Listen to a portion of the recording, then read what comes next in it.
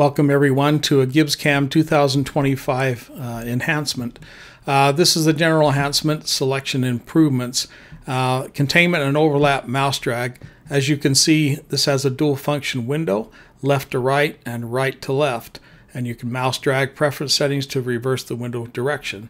So let's go over that. So first go to File and Preferences and if you go to the interface here, you can see you have a mouse drag selection limit to right to left or left to right. Uh, because some CAD uh, software uh, will choose different uh, entities that you select going from left to right or right to left.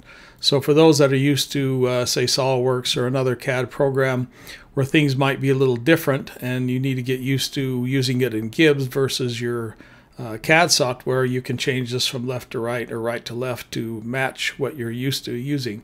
So I'll just leave the default right to left. So what this does is, of course, we always hold the shift key down to select, but if you select and go from left to right, we'll include this little ball here, you can see it, uh, grabs everything not only within that window, but where it crosses over that window, including the ball. And you can see this line and this line to the end, and this line and this line to the end. Now, if you go from right to left, it only it only highlights what is inside that box there. As you can see, with just the circle, the points, and the arc there. You would have to go clear over here to get the uh, ball. Let me do that again. Okay, it needs to contain the whole ball, not just part of it, because if I do just part of it, you can see it doesn't select it. But if I do just the whole ball, even even though I overlap the other ball, it's only going to select this ball here.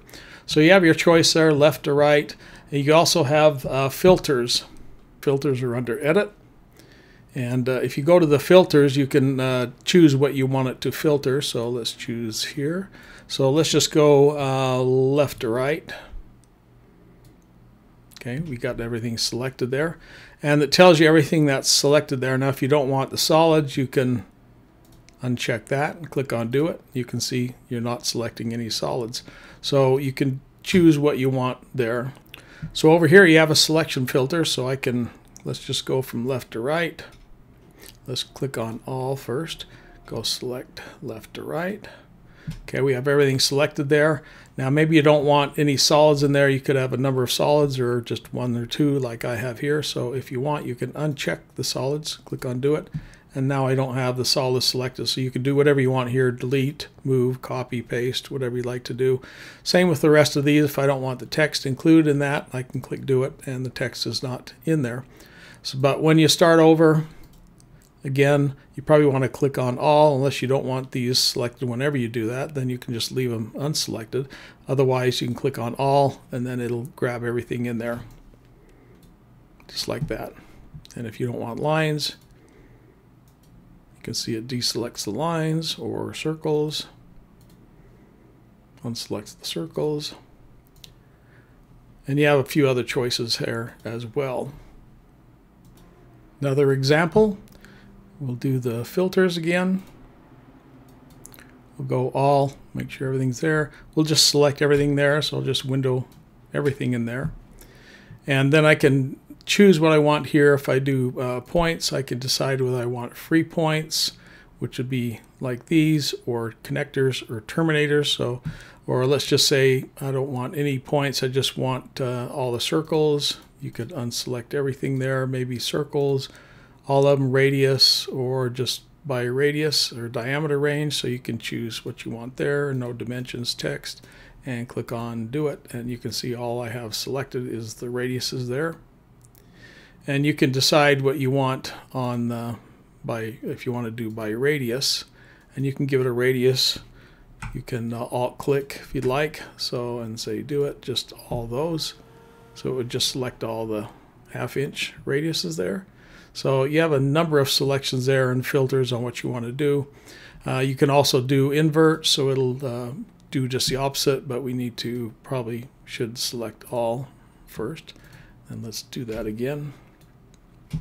So let's just say um, points, and let's just uncheck connectors, click on do it.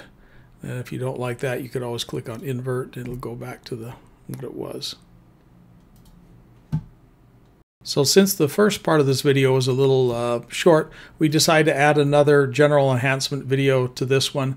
And this one's called Toolpath Redraw. Toolpath Redraw options are in Preferences. It's under File, Preferences, Interface. And we can set how the behavior is for the tabs and the tiles.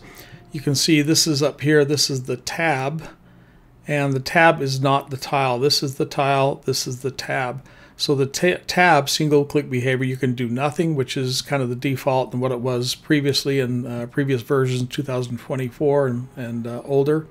You can select the tile, select tile and redraw, which is probably what I like to do. But uh, there's also, uh, this is of course tab, sorry. This is tile behavior. So this is the tile, the big one. Tab is the little short one there. So the tile single click behavior, you can select tile and redraw. Uh, but depending on what you want to do, if you have a uh, like a large 3D toolpath, you may not want to have it redraw the whole toolpath if you just want to look at the tile and maybe make some changes to it or move it, whatever. Uh, so you have that choice there. So it's under uh, preferences. Let's go to there. So let me go to file and preferences and we'll do nothing the default there. So in the past, if I want to see a toolpath, if I click on it here, you have to either zoom up or zoom down or go over to here and click on redraw. So this has been the behavior all along. So if I click on, uh, say, the second operation, you can see you might get confused. Oh, there's the toolpath, which is not until you zoom up, zoom down. Same with all these here. Threading, you have to zoom up, zoom down. So you don't have to do that anymore if you change your preferences. So let's go back to preferences here. Let's choose an empty slot there so everything disappears. Let's go to preferences and let's do uh, tab, select tile and redraw the toolpath. So now this is the tile, of course, or the tab, not the tile. If I click on the tile, nothing happens. If I click on the tab, you'll see there's the toolpath there. So I can click on all that. You can see the different toolpaths there. So if you had a, process over here, you wanted to change it, uh, you don't have to uh, uh, double click it over there, uh, depending on what, what you have in your preferences. But this is just for the toolpath. So if you want to see the toolpath, just click on the tab. Now if you want to change it, go to Preferences, and let's do nothing there, but let's do the tile instead. So let's do select tile and redraw. So now I need to select the, uh, uh, not the tab, but the tile. So if I click on three there, you can see nothing happens. Nothing happens with any of them. But if I click on the tile, you can see there's the toolpath. Toolpath again, so this makes it much easier when selecting stuff, a little less confusion there, where before you had to select something, then always have to redraw it. Now you can choose a preference on how you want that to work, and that's a really nice improvement for everything there. Okay, no more having to zoom up or zoom down, and you can choose whether you want to do the tab or the tile on how you want it to behave. So again, that's under File, Preferences, Tab, Single Behavior, Tile, Single Behavior, what you want it to do. So that's a very nice improvement there. So thank you for watching.